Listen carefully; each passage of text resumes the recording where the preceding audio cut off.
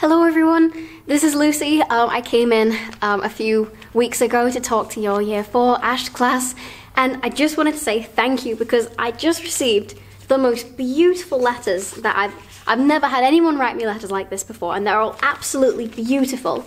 So I wanted to write a video saying thank you so much to all of you because I can't stop looking at them there. They've all got the most amazing drawings and some of them have got fantastic questions in and I just wanted to say how I've never felt so welcome at a school and thank you all for having me.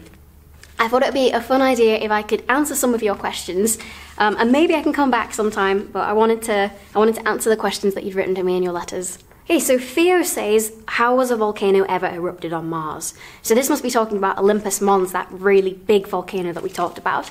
So Olympus Mons is is a volcano much like Hawaii is on Earth. So it's called a shield volcano, and that means that you've got lots of, of hot molten rock under the crust, and this has just forced its way to the surface and just keeps erupting on the same spot.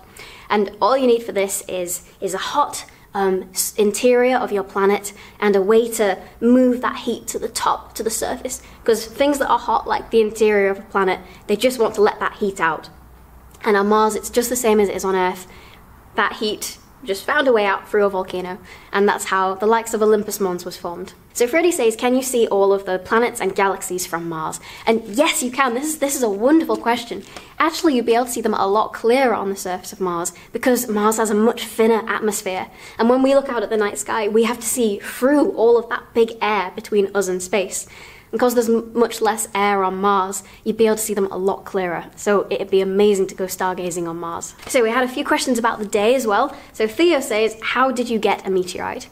Alright, so I got my meteorite from eBay, and any of you can get one from eBay if you want as well, though they're very expensive. They're about well, my, I paid £300 for mine, so if you ask your mum and dad, that's quite a lot of money. But thankfully, I had, um, I was given that money from uh, a group of scientists who, who like to talk about Mars and talk about the Earth, and they want me to be able to go into schools like yours and talk about it. So they gave me money to buy that meteorite. Sophia says, Where did you get your nice pictures from? Now, this is a great question because any of you can access these pictures. It's not just me being a scientist having special access.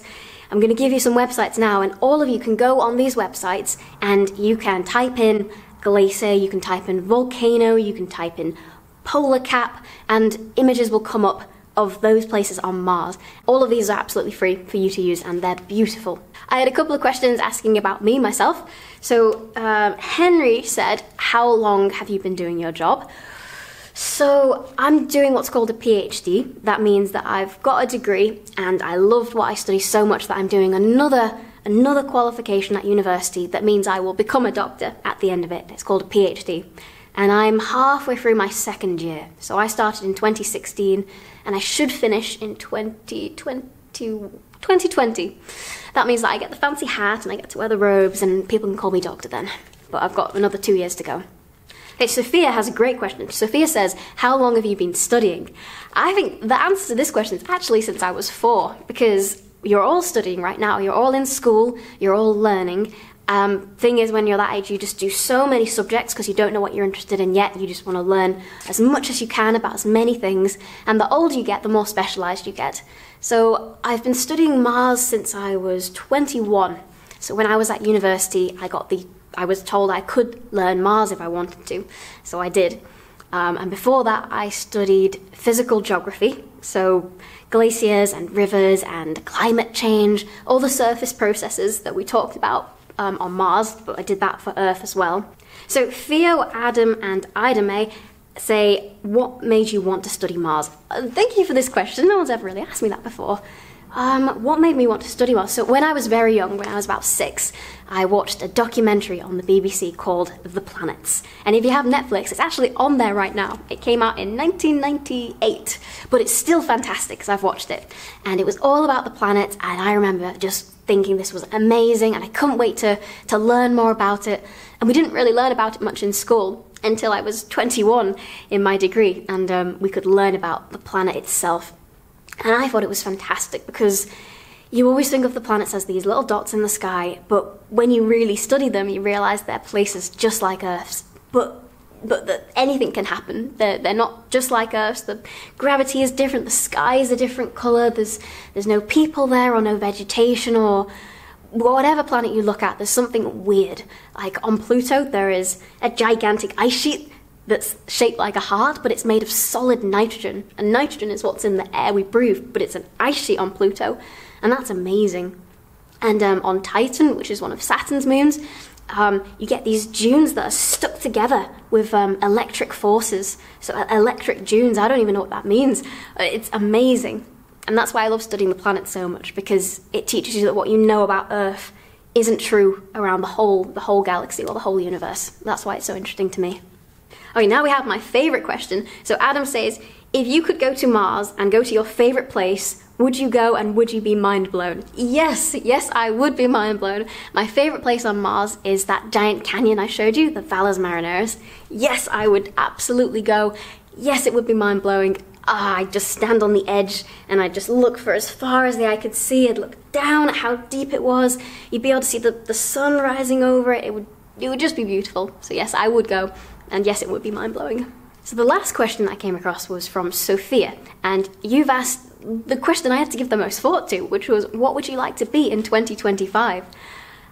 Now that's seven years away, and gosh, that's going to swing around quickly. In 2025, I would mostly just like to be happy. That's the most important thing.